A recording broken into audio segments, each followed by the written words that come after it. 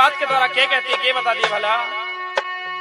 आ, अरे बिहारी ESSD. अनपढ़